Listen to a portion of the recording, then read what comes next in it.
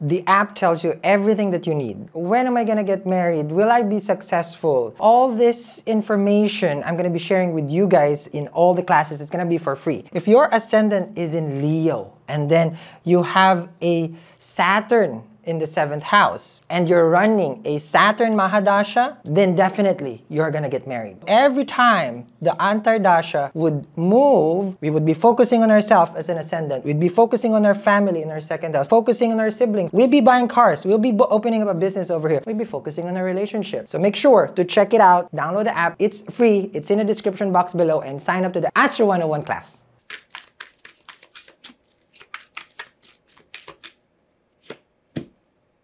Wondering if the promise will be given to you. Hopeful, optimistic, the nature of a Sag, thinking of always the positive side. This is a Three of Wands, which for me, it waits for the sun. And normally the sun is, how do you call this? I call it the relationshipment because it's known as a shipment here. So you're waiting for someone to come through and then probably commit or be in a relationship with you this is also you looking forward to the, a brighter future. You may be moving, you may be relocating, you may be um, planning to uh, uproot yourself from one country to another, a state to another, but it's like a, a geographical move, basically. So, hmm, interesting. Okay. I don't know what that, where that sound come from, but having the three of wands over here, this is showing that the the Sag right now are more about the future. Um, yeah, majority of the Sag, I don't think they ever even look at the past. It's something for you. It's just like, well, it's it is what it is. You know, I'm just gonna move on from that. Three of Wands. Okay, so we're gonna look in your side and your person's side over here. Um, if you haven't downloaded the app, the link is in the description box below.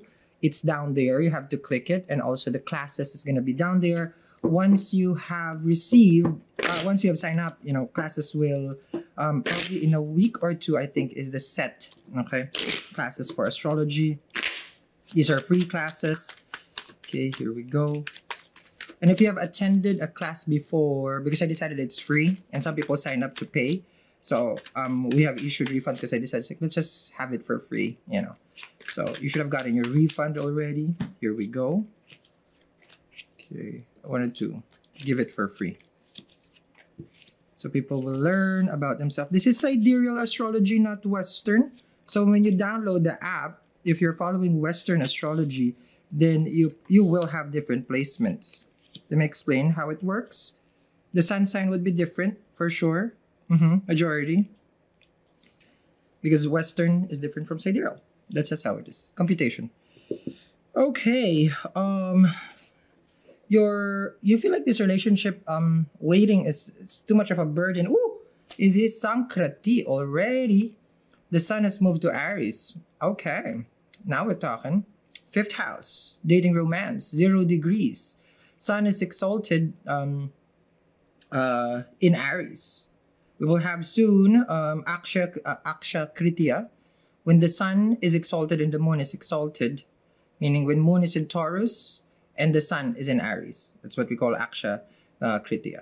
Okay. A most auspicious time to manifest. I believe it's around April 29. Okay, I have to check. Um, the Hierophant and the Ten of Wands. Uh, so you may feel like energized. You have the sun over here. So I look at it from uh, your your fifth house. So a lot of things are happening in your dating life, romantic life with the star and the sun. You've met a soulmate, that's for sure. Um, or a karmic, because you have a devil card over here. It has been a running runner chaser between the two of you and your person. You have tried to make it work, but every time you put effort, it feels like it is one-sided. You never really see them um, stepping up or putting their energy the way that you have uh, placed your energy. Um, you may be obsessed also here with the devil card with Rahu in the fifth house, obsessed to date, obsessed for to find happiness. Um, this is going to be a critical time for you to build this relationship because Mercury is going to go retrograde on the 21st, which gives you that Five of Swords and the Five of Cups a misunderstanding with your person. If not, it already has happened. And it's going to go even under. Can be with a Taurus, Aqua, or Leo, and you have Libra, you get Capricorn over here. Um, with Mercury, ruler of your seventh house, goes retrograde, it will um, become a little bit more dysfunctional, your relationship. The communication is what's going to trouble you. Do remember that also Mercury is your Badhaka planet, and if it sits in the fifth house, there's a lot of blockage that you are feeling right now with the Ten of Wands dating. Um, but you have this hopeful, you know, Jupiter is in Pisces. It gives you that comfort. It also aspects you for, uh, you know, four, seven, uh, four, seven, ten, one, four, seven, ten. Um, this is what we call a Rashi Drishti, which means that you have you have been blessed by being, excuse me, by feeling good. Okay, like I'm happy, I'm okay. That's the Jupiter in Pisces it will stay there for a couple more days, but it's about to move also to your fifth house, which means that expansion will come soon. The delay may be over. The devil over here with the Seven of Swords, your person has been playing these mind games with you for quite some time. This is the Rahu part in your fifth house. You have been dating someone who has been lying, betraying you. Rahu is uh, the North Node, basically, is a cheater when they tried to get the Amrit, you know, when they, they try to fool the gods. So someone is always trying to pretend. Okay, Rahu Ketu, basically. You've been torn between, you know, like probably like spending time with friends, you know, try, trying to forget what has happened between you and your person because you guys haven't been talking, High Priestess, with the Five of Cups. Your person is very much upset because you used to give all this effort, but then you found out, you know, the sun and the devil over here, you found out things that were hidden from you. But you keep yourself um you're still in the optimistic side. You will that's something that you will have. That's something that you won't lose is being optimistic sag please do remember when i do say their astrology you have to look for ascendant. The sun does not work for astrology. Moon. Sun uh, ascendant and moon sign okay? So when you get the app you have to look where your ascendant and your moon sign is. With tarot however you see fit. This picks up energy. It doesn't picks up it doesn't pick up a chart okay? You will always connect with the with the tarot, regardless chart or no chart. Oh, Treasure Island. Mars is also in Gemini, so this is this conflict, the argument, the fight, the separation. Okay, Sag. Um, the Treasure Island is here, so again, you are really hoping and waiting for this. Like you are all about optimistic. We're gonna be together whatever readers, astrologers says that we're not, we're gonna be together. You're not a fixed sign, but then you probably have a moon that is fixed because I sense stubbornness. I sense it doesn't matter. You get a hierophant. You're you're complicated, meaning you don't. I don't know where your Jupiter is placed or if it's combust because Jupiter is combust uh, previous. It can be like a, a like you know you have a Sun and Jupiter in the first house it can be very stubborn. You don't listen to other people's advice. You know what is truth, and that's the only truth that you will follow, regardless of any professional person who will give you okay light about the situation. So you learn, you get the devil here, you learn from your mistakes as a practical approach.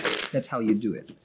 Because here with the Treasure Island, it doesn't show any kind of like oh, I don't think it's gonna manifest. I feel like this. No, no, no, no. For you, it's like, I can do this. I can do this. All that glitters, which only means that you are really seeing now the truth from your person. You're seeing now, okay, that the honeymoon stage is over. Well, this is on their side. So they are slowly revealing things that you haven't, that you don't know about them. So karmas are coming out now. Okay? a lot of people like they think that the dating is because of fifth house you know it's like that's where we stay we don't once you make that agreement in your seventh house marriage or partnership then you will see what the other person's karma is the person has been detached from you for quite some time and you know it but you have been putting this well basically just under the rug next 30 days for the two of you if you guys are gonna be sharing a path someone's person here's name is letter M. I just hear that. M. I don't know what the M stands for. Your best course of action. And for people who is trying to get into, you should be going to real estate.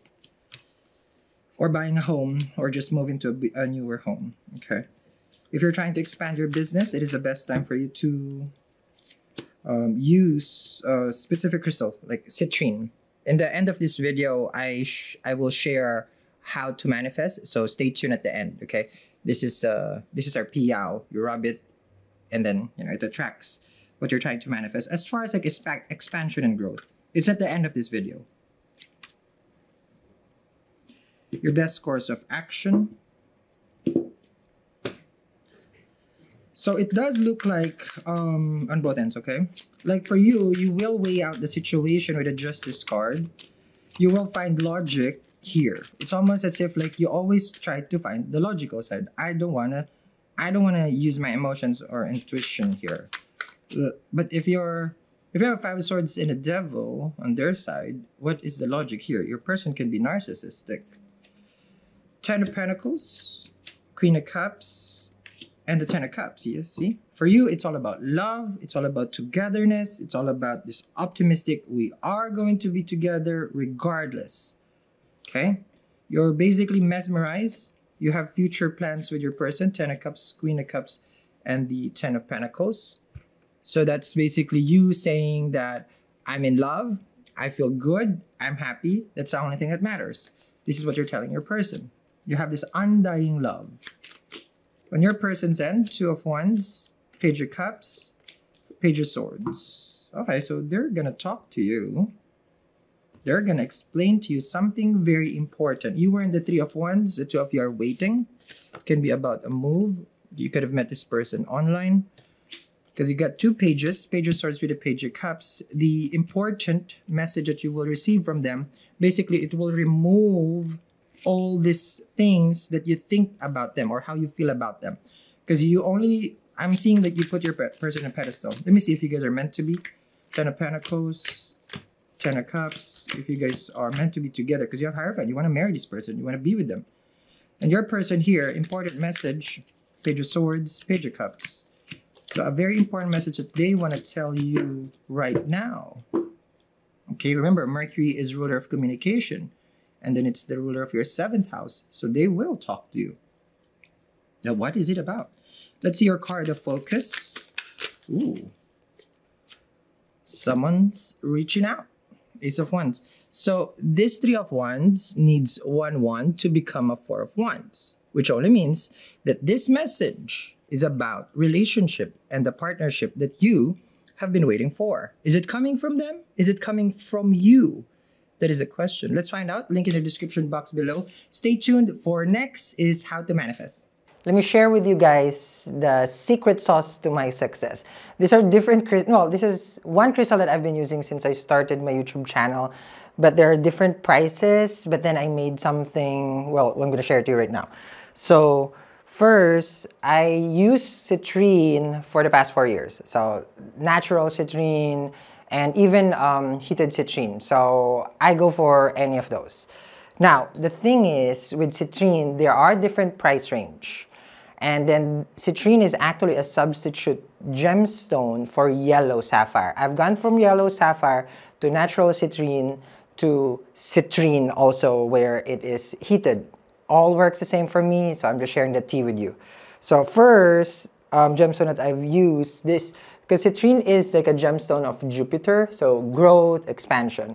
So I got this like probably um, around $175. So this one is made of silver.